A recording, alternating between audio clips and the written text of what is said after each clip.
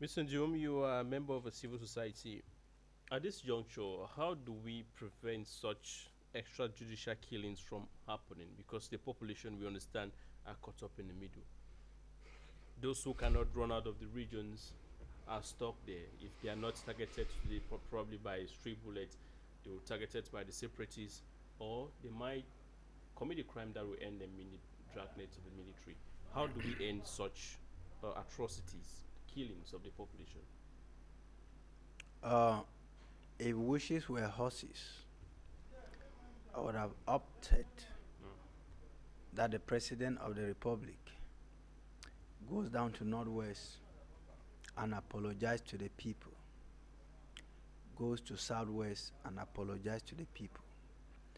Unfortunately, I am not and a member. Do you think that will in any way solve yes, the problem? I, for and one, uh, I have a feeling if the president goes down to Norway today, I will give him my support 100%. And I will carry uh, the crusade. And the question is, would peace. that immediately solve the problem? And what no, there, there is no way. Look, I don't play. I don't play hypocrisy, Luis. There is no immediate stop to the crisis. It must take a process. Mm -hmm. The problem is that from the start, they never knew they thought they were just going to take a sharp bend and everything was going to be the way they wanted. But they met with a stiff iron. And what I was saying is that since it cannot be stopped like magic, the first step, the President of the Republic has to go down to the field, apologize to the people of Southern Cameroon. That's one. Since I'm not a member of the government, I can only propose if they like, they can take it. If they like, they should not take it. As we are asking the boys to down their guns, I don't know how I can be asking people to down guns that I did not ask them to pick up guns. I will be saying it simultaneously that uh, let the military go back to the barrack and let and the boys drop, let the boys drop their guns. Okay. As the boys. So which should happen first? The guys should drop their guns, or the military should go back to the. No, it should be simultaneous. If the head of at, look at the, the head of state yeah. has to call for a ceasefire, that ceasefire at that time will clearly send a message to every Cameroonian, so that if we hear that there is somebody in Batibo, there is somebody in Mboni, there is somebody in Bello still holding up a gun, let the population take its responsibility, rally behind the head of state, to know that these people are the ones who do not want peace the confusion has often been that if the government forces go back to the barracks, mm -hmm. these boys will kill everybody who was maybe uh, collaborating with the military. Mm -hmm. But then, have we tried it? The head of state has not, first of all, pronounced ceasefire. That is where you have to start. That said, I equally want to think that our elites have a role to play. Okay. They have been sleeping for long singing and dancing in Yaoundé in the name of praising the president has not been helping issues. All right. That is where I have often said, I am not against anybody doing politics, Luis. I'm against the manner in which people do their politics. If you are doing your politics of your one-man show at the detriment of the population, that is what I'm against. Mm. So I will only repeat, the head of state has what it takes to end this crisis tomorrow. But he has refused to do so. And again, the people he has chosen to collaborate with them have been the wrong collaborators because they have added more fuel to an already burning fire than what would have quelled down that fire. Okay. All right. Uh, thank you, Mr. Jerome. Um, Metro, uh, before we come to you, let's hear John Bakuro. Just briefly, as we were going out of the first topic, what do you think can be done to stop the killing of the population? Just briefly, we are wrapping up with the first topic and we shall be discussing the second topic just briefly. So, uh, your reaction to what do you think can be done to stop these killings?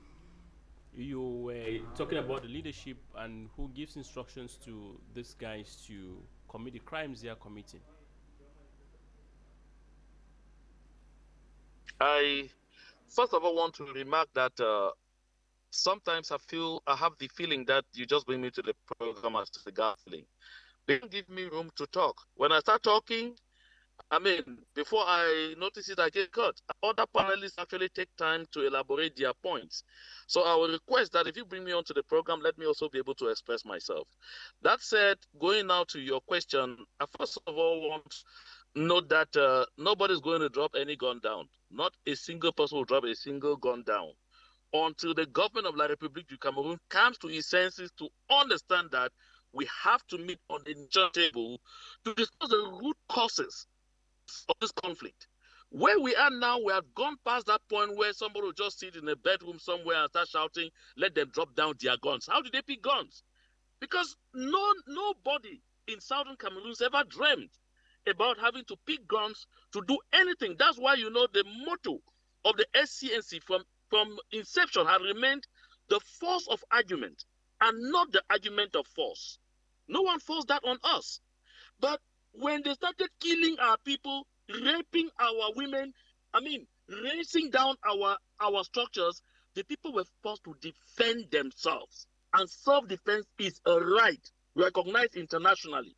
So how will this end? There is just one thing that needs to happen. La République du Cameroon needs to know that they have to come to the table.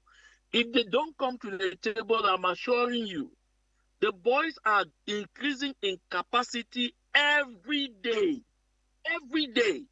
Our Republic Cameroon should not dream that they will win something militarily. It will not happen. It did not happen yesterday. It will not happen today. It will not happen even tomorrow. Because as the days are going by, the boys are getting more refined. And contrary to Kedia and the other misguided uh, elites to deceive La Republic to think, listen, they're increasing in number. They are not reducing. That is why recently when they took Boya by storm, everybody was surprised because they were told by Kedia and the others that there were just about three of them left in the bush.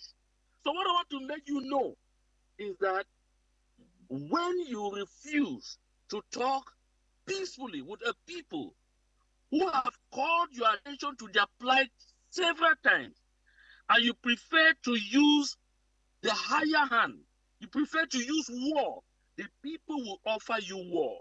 And for the Ambazonians, I'm, I'm telling you, Mr. Big right here on motion television, that the people of Southern Cameroon will never drop guns.